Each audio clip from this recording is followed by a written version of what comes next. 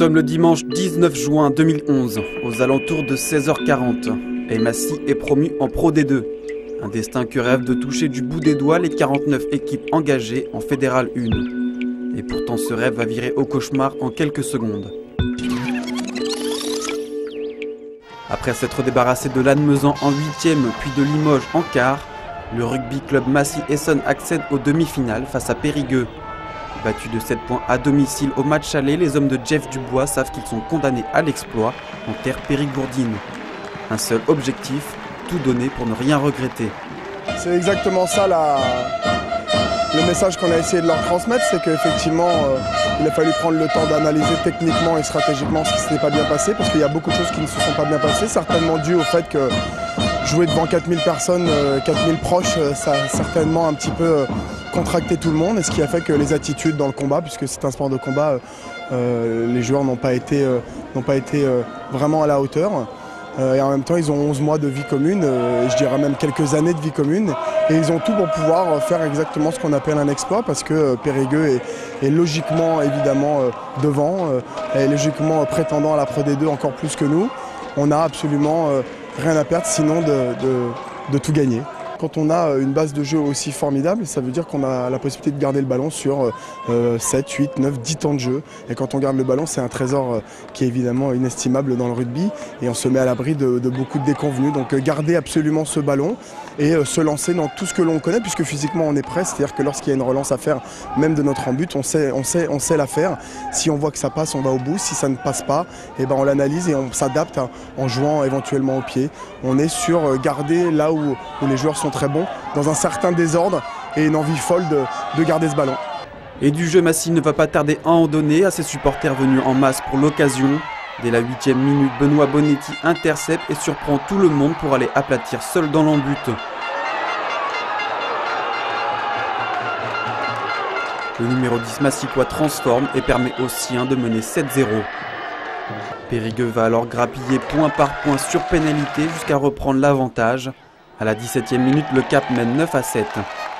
Mais Massy qui a retenu les leçons du match aller prend les points quand il le faut. Bonetti à la 28e et Coudol juste avant la pause rajoute 6 points au Massicois. 4 longueurs d'avance à la mi-temps, la moitié du chemin est accomplie. Mais de retour des vestiaires, Périgueux n'a pas dit son dernier mot. Cossimon rajoute 3 points sur pénalité. À la 55e, les bleus et blancs poussent et ne sont plus qu'à 5 mètres de l'embut. Rouget commet alors une faute et prend un carton blanc. Périgueux en profite et inscrit son seul essai de la partie. 17 à 13, Massy doit maintenant inscrire 12 points. Loin de se décourager, les Massicois repartent au combat. Coudol plein de malice pousse les Périgourdins à la faute. La pénalité est jouée rapidement. Verrier transperce et aplatit. Le RCME n'est plus qu'un essai transformé de la Pro D2 alors que Mani Vakaloa va humilier la défense périgourdine et faire exploser de joie les remplaçants et supporters essoniens. Cette fois-ci, Koudol ne tremble pas et transforme. Massy a rempli son objectif, prendre 8 points d'avance. Il faut alors tenir pendant 10 minutes. Enfin, c'est ce que tout le monde pense. Nous sommes déjà dans la sixième minute d'arrêt de jeu quand Périgueux rate le drop de l'accession. Ça y est, c'est fini, Jeff Dubois exulte sur son banc. Eh bien non, Monsieur Cardona en décide autrement. La partie continue. Ne savant plus très bien combien de temps il reste à jouer, les Massicois n'ont guère d'autre choix que de taper devant et tenter de garder le ballon. Mais à la 50e minute, le rêve va tourner au cauchemar. À 55 mètres des poteaux, l'arbitre accorde une ultime pénalité à Périgueux. 55 mètres, c'est loin et tous les supporters confondus retiennent leur souffle. Une pression énorme s'abat sur les épaules du jeune Bosviel. Le numéro 21 de Périgueux prend son temps deux minutes exactement. Une attente interminable. Les deux équipes sont au purgatoire. Le ballon part et passe les poteaux. Périgueux est au paradis. Tout s'écroule en une seconde pour Massy qui voit la porte de la Pro D2 claquer sur ses doigts.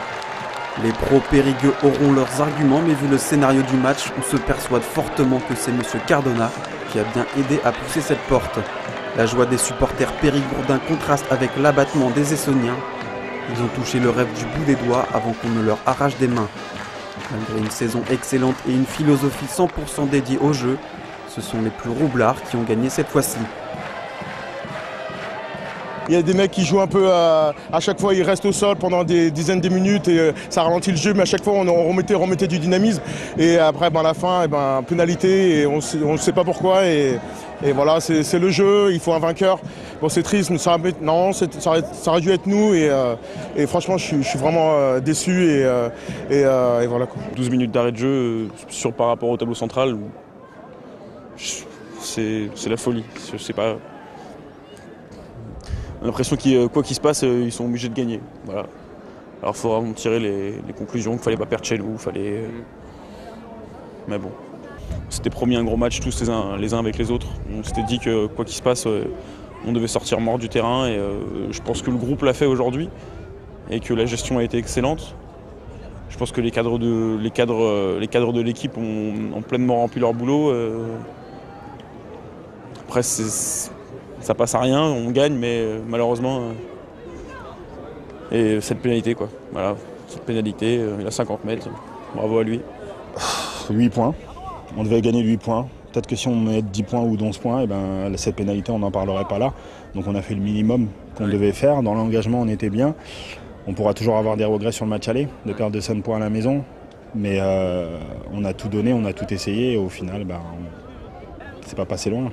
On a été bien pendant tout le match, on a mené au score euh, dans un, dans un stade euh, qui était plein à rabord avec une grosse pression et ça se joue à, la, 90e minute, sauf que c'est pas du foot. Quoi. De perdre un match, ben, ça arrive, mais comme ça, de cette manière-là, avec euh, autant d'arrêts de jeu, avec des fautes non sifflées ou des choses comme ça, c'est vraiment. Enfin, on est dégoûté plus qu'autre chose en fait. Je pense que j'ai deux défaites qui me marqueront toute ma vie. J'ai celle contre Grenoble il y a 4 ans. Celle d'aujourd'hui, je pense que je l'oublierai pas. Après, est-ce qu'on arrivera à faire la même chose euh, l'année prochaine? Je pense que ça sera très compliqué. Très très compliqué. Euh, est-ce qu'on était sur une lancée, une dynamique? Est-ce qu'on gardera la même dynamique? Est-ce qu'on gardera tous les mêmes joueurs? Je sais pas. Je sais pas comment ça se passera. Je l'espère de tout mon cœur. J'espère refaire euh, cette aventure parce que c'est pesant mentalement, c'est pesant physiquement, mais c'est extraordinaire. De toute façon, à Massé, c'est toujours la même chose. Il y a un groupe de potes qui se, qui se crée et qui, même si on ne se connaît pas au début de l'année, on, on peut, dormir chez l'un, chez l'autre, on peut faire n'importe quoi et tout le temps il y en a un autre qui va nous aider. Et là, euh, ben, là on, se connaissait tous et du coup ben, c'était encore dix fois, enfin c'était plus fort qu'avant et, on arrive là et voilà, moi je suis content de ce qui s'est passé. Je suis parisien, euh, je joue avec pas mal de Parisiens, c'est important pour moi, j'ai ma famille ici. Euh, le rugby français doit savoir qu'en Ile-de-France on joue au rugby et qu'on joue bien au rugby. Massy doit maintenant relever la tête tout en gardant en mémoire ce match cruel. Ce dimanche 19 juin, Massy n'est pas mort, Massy sera donc plus fort. Et oui messieurs, sachez qu'il n'est pas obligatoire d'habiter au sud de la Loire pour pratiquer du bon rugby.